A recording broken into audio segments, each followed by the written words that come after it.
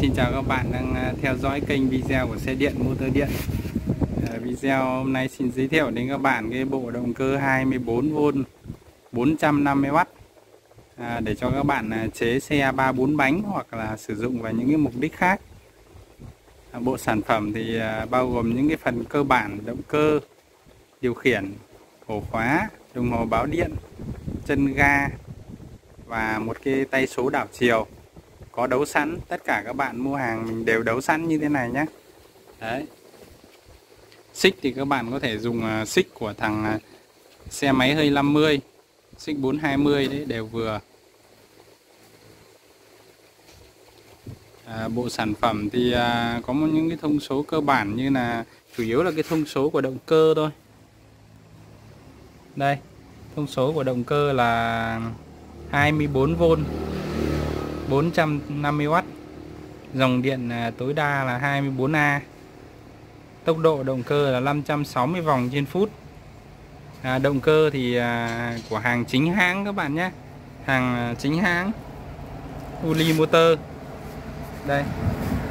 À,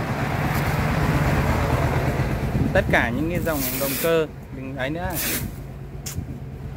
Tất cả những cái dòng động cơ à, của hàng công ty thì nó đều làm những cái mã số ở trên thân động cơ này. Đấy để nó phân biệt các bạn phân biệt những cái hàng à, gia công gọi là hàng địa phương đấy bên Trung Quốc nó gọi là hàng địa phương đấy thì nó sẽ không có những cái mã sản phẩm như thế này đâu. Đấy. Và những à, công suất của nó bao giờ cũng là công suất thực các bạn nhé.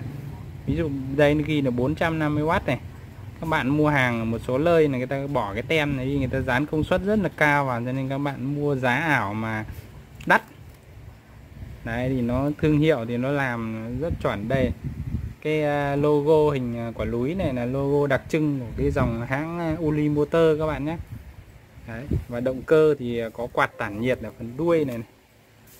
Đấy. đấy có quạt tản nhiệt ở dưới đuôi này nhé đấy, thì là một số những cái nhận dạng về những dòng động cơ.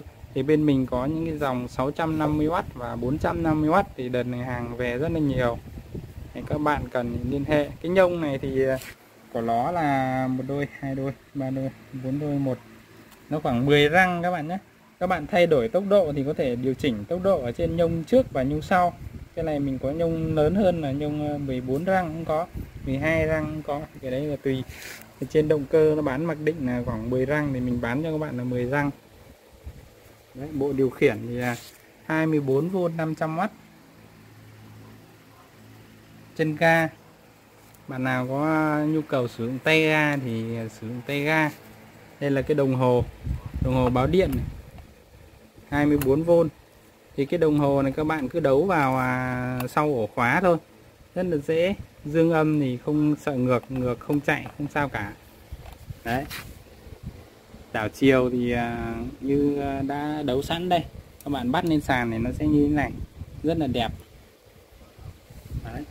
À, mọi chi tiết à, đặt hàng thì có thể liên hệ qua số điện thoại ở dưới màn hình ấy, đang chạy chữ trên màn hình. Còn đây mình sẽ kéo ga thử cho các bạn xem.